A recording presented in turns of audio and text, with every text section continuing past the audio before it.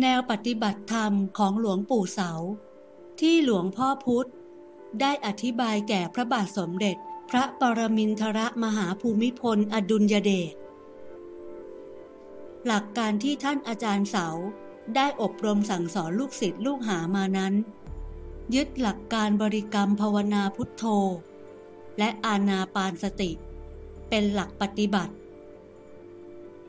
การบริกรรมภาวนา ให้จิตอยู่ณจุดเดียว คือพุทโธ ซึ่งพุทโธ แปลว่า ผู้รู้ ผู้ตื่น ผู้เบิกบาน เป็นกิริยาของจิต เมื่อจิตมาจดจ้องอยู่ที่คำว่า พุทโธ ให้พิจารณาตามองค์ฌานห้าการนึกถึงพุทโธ เรียกว่า วิตก จิตอยู่กับพุทโธ ไม่พรากจากไป เรียกว่า วิจารณ์หลังจากนี้ ปีติและความสุขก็เกิดขึ้น เมื่อปีติและความสุขเกิดขึ้นแล้ว จิตของผู้ภาวนา ย่อมดำเนินไปสู่ความสงบ เข้าไปสู่อุปจารสมาธิ และอัปปนาสมาธิ ลักษณะที่จิตเข้าสู่อัปปนาสมาธิ ภาวะจิต เป็นภาวะสงบนิ่ง สว่าง ไม่มีกิริยาอาการแสดงความรู้ ในขั้นนี้เรียกว่า จิตอยู่ในสมถะ ถ้าจะเรียกโดยจิตก็เรียกว่า อัปปนาจิต ถ้าจะเรียกโดยสมาธิก็เรียกว่า อัปปนาสมาธิ ถ้าจะเรียกโดยฌานก็เรียกว่า อัปปนาฌาน บางท่านนำไปเทียบกับฌานขั้นที่สี่จิตในขั้นนี้เรียกว่า จิตอยู่ในอัปปนาจิต อัปปนาสมาธิ อัปปนาฌานจิตย่อมไม่มีความรู้อะไรเกิดขึ้น นอกจากมีสภาวะรู้อยู่อย่างเดียวเท่านั้น เมื่อนักปฏิบัติ ผู้ที่ยังไม่ได้ระดับจิต เมื่อจิตติดอยู่ในความสงบนิ่งเช่นนี้ จิตย่อมไม่ก้าวขึ้นสู่ภูมิแห่งวิปัสสนาได้ เมื่อเป็นเช่นนั้น ท่านอาจารย์เสา ผู้เป็นอาจารย์สอนกรรมฐานในสายนี้ จึงได้เดินอุบาย สอนให้ลูกศิษย์พิจารณากายคตาสติ เรียกว่า กายานุปัสสนาสติปัฏฐาน โดยการพิจารณาผม ขน เล็บ ฟัน หนังเป็นต้น โดยน้อมนึกไปในลักษณะความเป็นของปฏิกูล น่าเกลียด เป็นของโสโครก จนกระทั่งจิตมีความสงบลง ผู้ยิ่งเห็นจริงตามที่ได้พิจารณา เมื่อผู้ปฏิบัติได้พิจารณาผม ขน เล็บ ฟัน หนัง เห็นสิ่งปฏิกูล ในที่สุดได้เห็นจริงในสิ่งนั้น ว่าเป็นของปฏิกูล โดยปราศจากเจตนาสัญญาแล้ว ก็เกิดนิมิตเห็นสิ่งเหล่านั้นว่า เป็นของปฏิกูลน่าเกลียด โสโครกจริง ๆ โดยปราศจากสัญญาเจตนาใด ๆ ทั้งสิ้น จึงได้ชื่อว่า เป็นผู้พิจารณาเห็นอสุภกรรมฐาน เมื่อผู้ปฏิบัติพิจารณาอสุภกรรมฐานจนชำนิชำนาญ จนรู้ยิ่งเห็นจริง ในอสุภกรรมฐานแล้วนั้น ในขั้นต่อไป ท่านอาจารย์เสา ได้แนะนำให้พิจารณาร่างกาย ให้เห็นเป็นธาตุสี่ธาตุดินธาตุน้ำธาตุลมธาตุไฟ จนกระทั่งเห็นเป็นดิน น้ำลม ไฟ เมื่อจิตรู้ว่า เป็นแต่เพียงสักแต่ว่าธาตุสี่ดิน น้ำ ลม ไฟ จิตก็จะเกิดความรู้ขึ้นมาว่า ตามที่พูดกันว่า สัตว์บุคคล ตัวตนเรา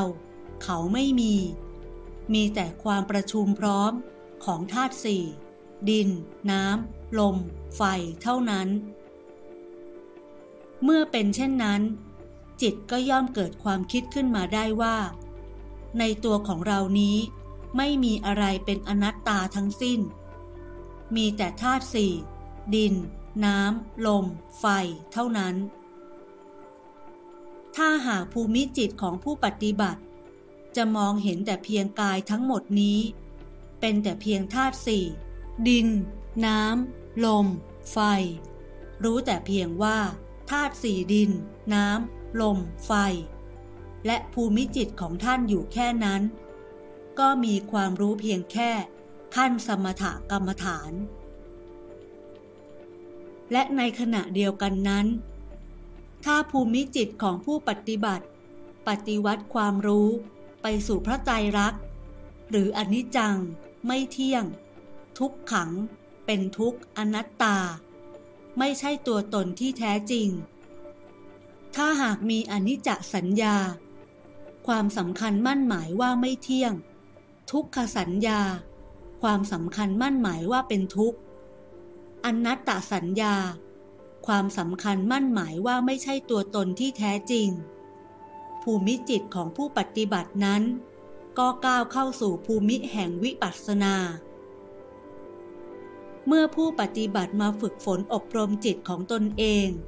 ให้มีความรู้ด้วยอุบายต่างๆ และมีความรู้แจ้งเห็นจริง ในลักษณะของอสุภกรรมฐาน โดยอุบายอย่างใดอย่างหนึ่ง จนมีความรู้แจ้งเห็นจริงในลักษณะที่ว่า กายเรานี้เป็นแต่เพียงธาตุสี่ ดิน น้ำ ลม ไฟ มีความเห็นว่าธาตุสี่ ดิน น้ำ ลม ไฟ ก็เป็นแต่เพียงธาตุไม่ใช่ตัว ไม่ใช่ตน ไม่ใช่สัตว์ บุคคล เรา เขา ด้วยอุบายดังกล่าวแล้ว ผู้ปฏิบัติยึดหลักอันนั้น ภาวนาบ่อยๆ กระทำให้มากๆ พิจารณาให้มากๆ พิจารณาย้อนกลับไปกลับมา จิตจะค่อยๆก้าวสู่ภูมิรู้ ภูมิธรรม เป็นลำดับไป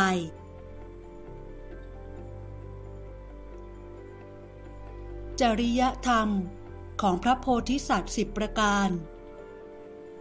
1. พระโพธิสัตว์ไม่ปรารถนาเลยว่า ร่างกายจะไม่มีโรคภัยไข้เจ็บ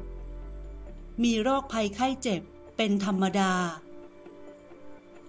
2. พระโพธิสัตว์ครองชีพโดยไม่ปรารถนาว่าจะไม่มีพยันตราย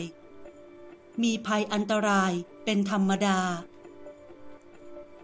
3. พระโพธิสัตว์ไม่ปรารถนาเลยว่าจะไม่มีอุปสรรค ในการชำระจิตให้บริสุทธิ์ ย่อมมีอุปสรรคเป็นธรรมดา พระโพธิสัตว์ไม่ปรารถนาเลยว่า จะไม่มีมารขัดขวางการปฏิบัติภารกิจ จะต้องมีมารมาขัดขวางการปฏิบัติโพธิจิตเป็นธรรมดา 5. พระโพธิสัตว์คิดว่าจะทำงานให้นานที่สุด โดยไม่ปรารถนาจะให้สำเร็จผลเร็ว ปล่อยวางเรื่องการเวลาทำงานเพื่องาน 6. พระโพธิสัตว์ คบเพื่อนโดยไม่ปรารถนาว่าจะได้ผลประโยชน์จากเพื่อน รักผู้อื่นด้วยความบริสุทธิ์ใจ 7. พระโพธิสัตว์ไม่ปรารถนาเลยว่า จะให้คนอื่นตามใจตนเองเสมอไปทุกอย่าง ไม่มีความเห็นแก่ตัว 8. พระโพธิสัตว์ทำความดีกับคนอื่น ไม่ปรารถนาสิ่งตอบแทน ต้องการให้คนอื่นพ้นทุกข์ 9. พระโพธิสัตว์เห็นลาบแล้ว ไม่ปรารถนาจะมีหุ้นส่วนด้วย ไม่ปรารถนาในลาบและสรรเสริญ 10. พระโพธิสัตว์เมื่อถูกใส่ร้ายป้ายสี ติเตียนนินทาแล้ว ไม่ปรารถนาจะได้โต้ตอบหรือฟ้องร้อง การใส่ร้ายป้ายสี ติเตียน นินทา เป็นธรรมดาของโลก จริยธรรมทั้งสิบประการนี้ เป็นการปฏิบัติธรรมชั้นสูงของพระโพธิสัตว์ทุกพระองค์ เรียกว่า มหาอุปสรรค ซึ่งถ้าท่านผู้ปฏิบัติธรรมนำมาท่องทุกวัน จะช่วยขัดเกลาจิตใจให้ดีงาม ช่วยให้ง่ายต่อการบรรลุมรรคผลนิพพาน